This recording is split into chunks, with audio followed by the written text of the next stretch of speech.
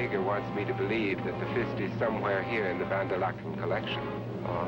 But if you're a wrongdoer, watch out.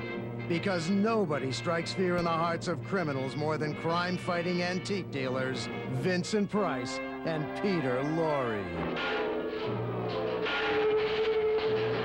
If it had taken off, Collector's item would have blasted through TV screens with four-fisted action, like only these two movie veterans could duke out.